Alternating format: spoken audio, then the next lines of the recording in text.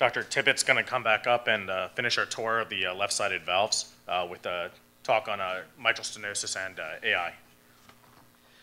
Uh, so, like we've been talking about, uh, we've got a watering can uh, in the left ventricle, and this is an awesome picture. I've never heard the left side of the heart described as a watering can before, but when I look at this image, this is exactly what I see.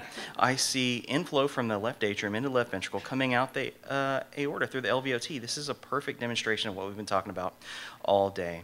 Uh, so, what we're going to talk about right now is when you have altered function of the mitral valve, and it's stenotic. So we talked earlier about uh, regurgitation, which is much, much more common. We'll talk a little bit right now about stenosis, where you have abnormal inflow into the LV.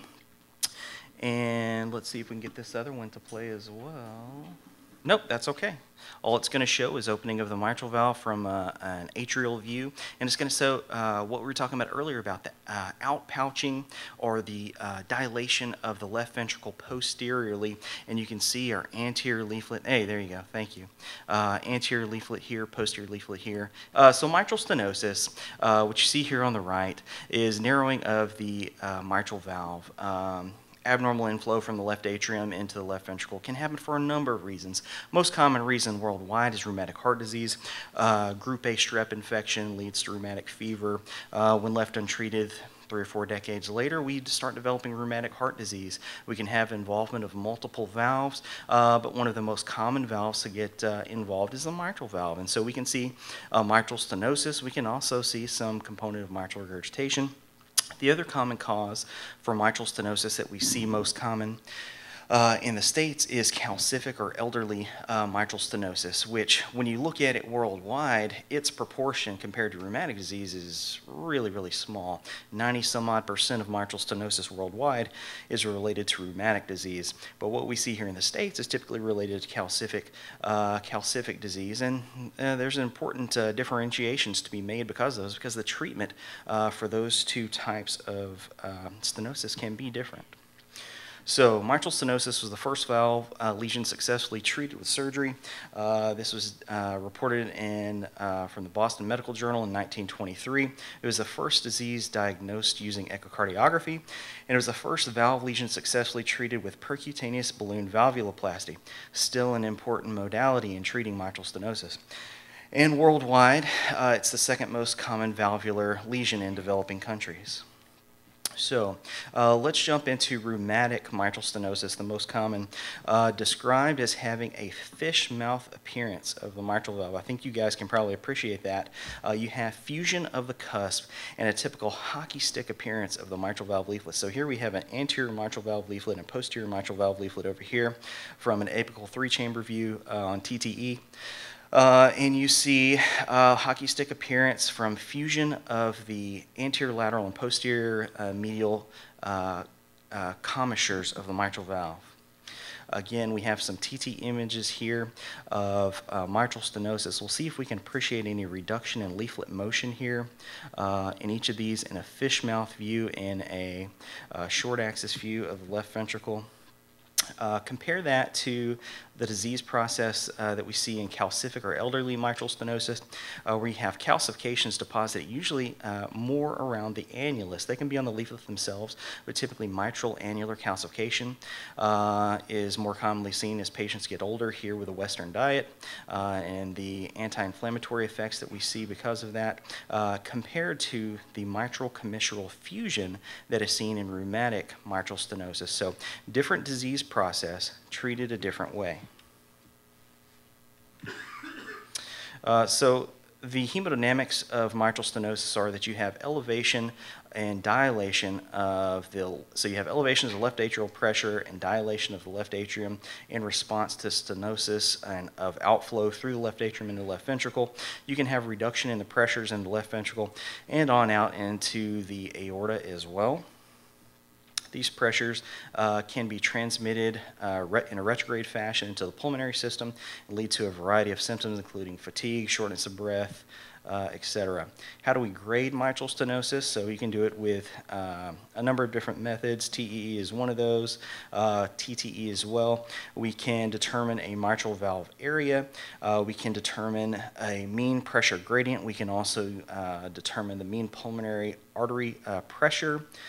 Uh, and if the mitral valve area is less than one centimeter squared, it's considered severe mitral stenosis and should be treated. Uh, mean pressure gradient's debatable, but somewhere around 10 to 12 range. Anything over that is considered severe stenosis. Anything less than that, moderate, uh, 6 to 10, 6 to 12, and then below that's considered mild. So how do we treat mitral stenosis? Well, there's a couple of different ways. The most common way that mitral stenosis is treated in the U.S. is actually with percutaneous uh, balloon mitral commissurotomy. Um, so the way they do that is on the left-hand picture here, you have a stenotic sort of fish mouth uh, mitral valve they put across a balloon, which you can see dilated here in this nice 3D image, which splits open the commissures. And uh, here we are in diastole uh, with filling the left ventricle looking down from the atria. You can see a nice wide open mitral orifice area. Uh, and you can see a decrease in the mean gradient from before and after treatment. So we have severe mitral stenosis with a mean gradient of 10 pre-treatment or treatment, and then afterwards we have reduction in uh, mean gradient. So how do we actually measure pressure gradients? Uh, as we were just talking about a second ago, you can shoot a continuous wave Doppler um, through various different places, and you can calculate uh, mean gradients or pressure gradients all throughout the heart. Uh, for the purposes of mitral stenosis, we would shoot a continuous wave Doppler through the inflow of the mitral valve leaflets. We can get that in a number of different places. Uh, four chamber is a fine place to, to try to do that. Uh, once you get your continuous wave Doppler uh, flow pattern, uh, you can just pause that image and trace that out. And the computer is amazing. We'll do all the work for you. And you can get pressure gradients to spit right out onto the computer. Uh, however, there are some pitfalls to measuring just mean pressure gradients. High flow states or high flow rates can lead to uh, an elevated transmitral pressure gradient, uh, even with only a moderate degree of valve narrowing. So if you have tachycardia, mitral regurg, or you have uh, uh, an increase in left ventricular volume, anemia is a high flow state. All those can lead to falsely elevated uh, transmitral mean pressure gradient. Low flow states can lead to low transmitral pressure gradient uh, despite having severe mitral stenosis, so low stroke, low stroke volume state or bradycardia. You can also have beat to beat variability, like in atrial fibrillation, where on one beat you may appear to have mild mitral stenosis. On the next, you may appear to have severe mitral stenosis, just depending on which beat you measure a mean gradient on. Um, and also, if you have an increased angle between the uh, uh, mitral stenosis jet and the ultrasound beam, you can have uh, alterations in your pressure gradients. So here's an example of how we do that. Um, so you get your uh, continuous wave Doppler uh, profile, you trace that out, you get a mean gradient of 5. So no big deal, mild mitral, mitral stenosis.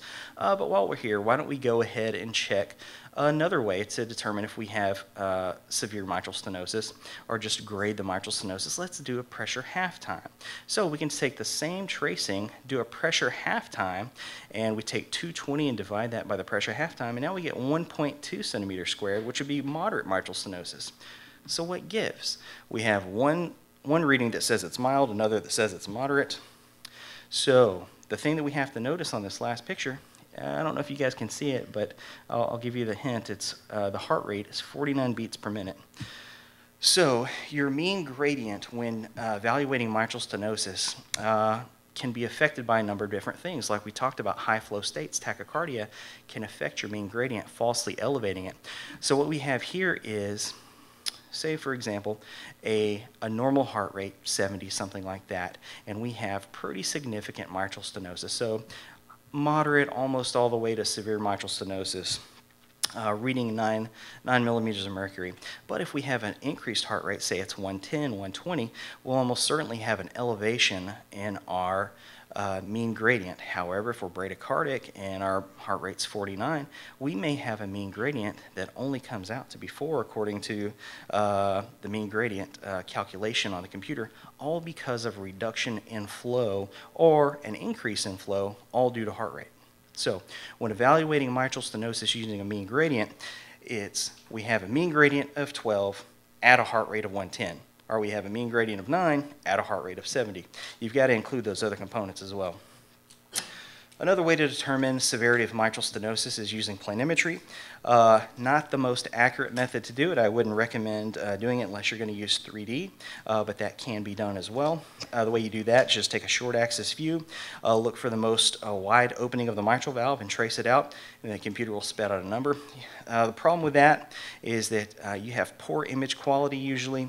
You can have deformed valve anatomy. You may not have the proper place to measure the actual orifice opening, and so you may over or under, underestimate uh, the actual smallest orifice area. So uh, the other way we spoke about uh, measuring uh, or grading severity of mitral stenosis was using the pressure half time. So you can divide 220 by the measured pressure half time and determine the mitral valve area. And so here's an image of how you actually do that. You take your CW tracing through the inflow portion of the mitral valve, uh, trace that out. You need to have a straight line and you divide by 220. And if it's more than 220, it's severe uh, mitral stenosis, 150 to 120, moderate, less than 150, usually mild. There are limitations with that as well. Beat-to-beat variability with atrial fibrillation uh, can interfere with an accurate measurement. Um, aortic regurgitation, which is another high flow state. Um, changing LV and left atrial compliance and non uh, nonlinear earlier diastolic velocity slope. So that's pictured here. So you have an early early sharp phase. I totally stole this slide from Stephen Little, by the way. Thank you, Dr. Little. Um, uh, you have an early diastolic filling here. Uh, and if you were to trace this slope here, you would have uh, severe mitral stenosis, but you actually want to take uh, the longest slope that you can. So you need to have the same slope over 50% of the tracing. Uh, so you want to take the bunny hill, trace that, not the black diamond. Here's two other contraindicated things that you shouldn't be trying to trace out, where you have rapid change in the slope of a tracing, uh, either one way or the other. Neither of those is going to give you a very accurate reading when trying to grade mitral stenosis. So Using pressure half time, here's another example. So we have a pressure half time of 79. We take 220 divided by 79, we get like 2.8 uh, centimeters squared, so nothing. Insignificant mitral stenosis, no big deal. But being the good doctors that we are, we're not going to stop there. We don't believe it because maybe the patient has symptomatology that's consistent with mitral stenosis. Uh, we can take um, another measurement. We can use the continuity equation through the mitral valve and determine uh, the mitral orifice area uh, using a combination of measurements through the RVOT. So the cross-sectional area of the RVOT uh, times the time velocity integral through the RVOT divided by uh, the mitral inflow or uh, uh, time velocity integral and that would give us 1.45, so moderate mitral stenosis. So again, a huge difference, all in the same patient, same tracings, uh, one tells you you've got no mitral stenosis, the other tells you you've got severe. So what gives? Um, there are limitations to each and every one of these ways that we measure. So continuity, continuity equation used to evaluate mitral stenosis, again, atrial fibrillation, aortic regurgitation, mitral regurgitation, all these things are going to alter uh, the reliability and the accuracy of these measurements. So what we do in real life is we take our best, best guess. So based on the symptomatology, um, based on our best two or three estimates, which of these correlate with what we think is going on, and that's the one that we use. So here's just another example of effective heart rate. Same thing we saw earlier with a mean gradient. So a normalish heart rate, 70 or so, can have an elevated mean gradient. You increase the heart rate, gives you an even higher uh, mean gradient. However, the opposite happens when you're looking at your time velocity integral. Um, that you causes a reduction, and that's the denominator in our continuity equation, and so that will uh, alter our mitral stenosis calculations just as it did for mean gradient. I'm trying to advance. There we go. Skipped a few. That's okay. I'm going to skip ahead a couple because I've only got like five minutes left, and I still have to talk about all of aortic insufficiency. no, it's okay. It's okay. This is good. Uh, so, if we have symptoms with mitral stenosis, we do an echo. Uh, hopefully the echo is going to correlate with the symptoms. However, if it doesn't, if we have severe symptoms, we have an insignificant uh, gradient um, or a calculated low valve area, we do an exercise Doppler, see if we can elicit a proper gradient when we have normal flow conditions. Um, so should you have to do a TEE to evaluate initially uh, for mitral stenosis? No, usually not. Only if you're going to do a pre-balloon valvuloplasty or grade the uh, amount of mitral regurgitation. And you almost never have to do a catheterization anymore, which used to be the very common thing to do.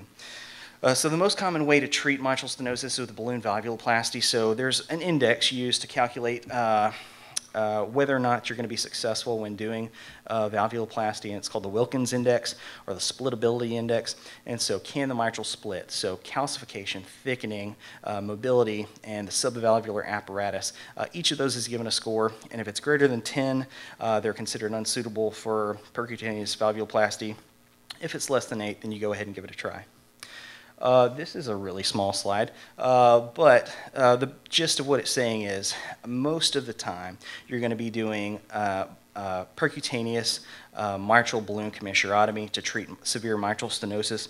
Essentially, the only time you're going to have a surgical intervention is when you have a valve that has some reason uh, that it can't be split. So, we were talking earlier about uh, rheumatic versus calcific mitral stenosis. Uh, calcific mitral stenosis, because you don't typically have fused commissures, aren't prone to being able to be split apart. If you balloon that valve open, all you're going to do is just like if you balloon open an aortic valve that's calcified, you're going to smush that calcium deposits into the, the annulus of the mitral valve. You're not actually going to fix anything. However, if you have a fused mitral uh, commissures from rheumatic disease, you can actually split those open and they should hopefully have near normal function afterwards. So let's switch gears. All right, this is the whole story right here, one slide. Uh, acute versus chronic aortic insufficiency. So, acute AR, you're going to roll down the hall and they're going to be sick as snot, and hopefully you're going to be fixing them soon. It can happen for a number of reasons. We'll get into why, the, why aortic insufficiency can happen. However, chronic aortic insufficiency happens in a lot of people, and those people are the ones out on the golf course still kicking around like nine years later. So acute aortic regurgitation, endocarditis, uh, type A dissection, traumatic, pretty rare, but can happen. Really, it's endocarditis and uh, dissection that we really see surgically. Patient tends to appear acutely ill. Um, they may or may not have a murmur. Uh, they typically have a normal or low systolic blood pressure. When we see them come into the OR, seems like the ones I see are always low, um, and they tend to have a wide pulse pressure, uh, which is depicted here. Normal uh, normal uh, aortic waveform here where you have a nice diastolic pressure that elevates during systole. In aortic regurgitation, you have this reduced way, way down.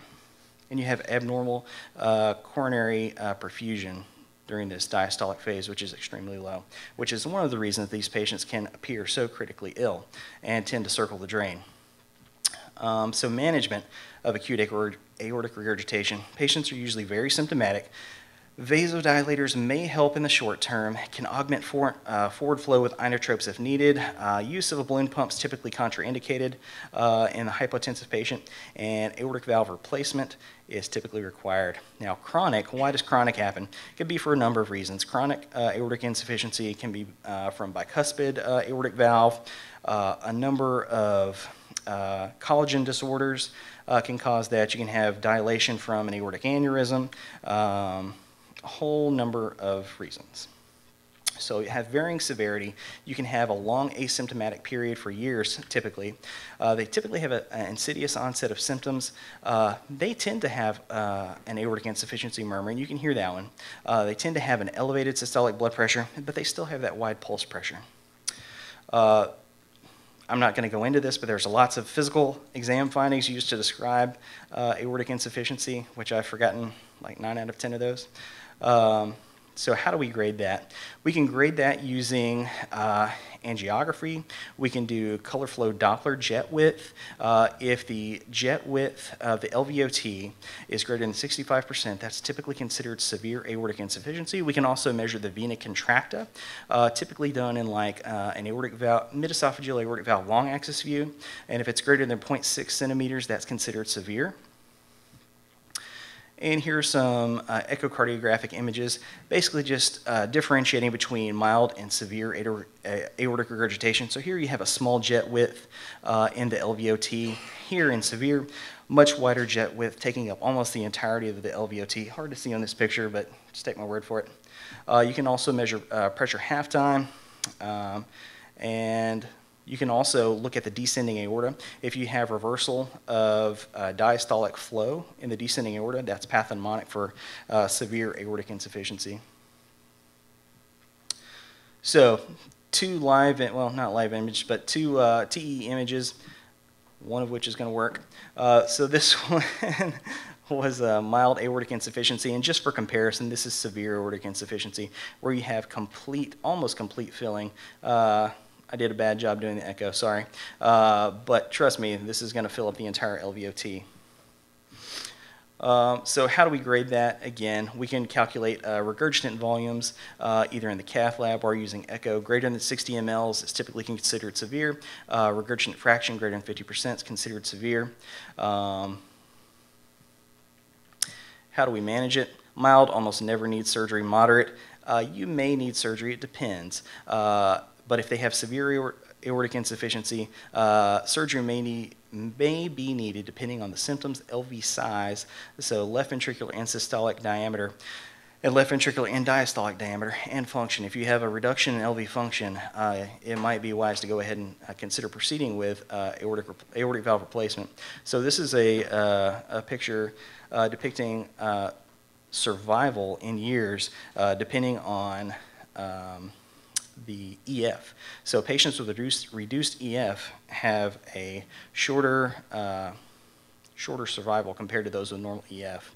Um, so again, chronic severe aortic regurgitation, if they have symptoms, it's a class one indication to go ahead and go to AVR. Um, symptoms tend to progress slowly. Um, 6% per year. If you have normal uh, LV function in an asymptomatic patient, only 6% of those people progress to symptoms throughout the year. Uh, progression uh, to asymptomatic LV dysfunction, 3.5% per year. Sudden death, these people don't die, 0.2%. Uh, they tend to live a long time when they're asymptomatic. However, when they have abnormal LV function, progression to cardiac symptoms happens uh, within 25% of people within a year. And if they're symptomatic, they have a, typically have a very poor prognosis, and mortality is 10% per year. So, uh, surgery before LV dysfunction is the goal. Again, reduced, uh, this picture just shows reduced EF uh, and reduced survival. Normal EF, much higher survival. So you want to operate on these people before you have reduction in left ventricular uh, ejection fraction. Same thing here. And I'll refer you guys to the 2014 uh, ACC AHA guidelines to look at all this. But if you have uh, end-diastolic dilation of the LV uh, you should proceed to AVR if you have, even if you have an asymptomatic patient.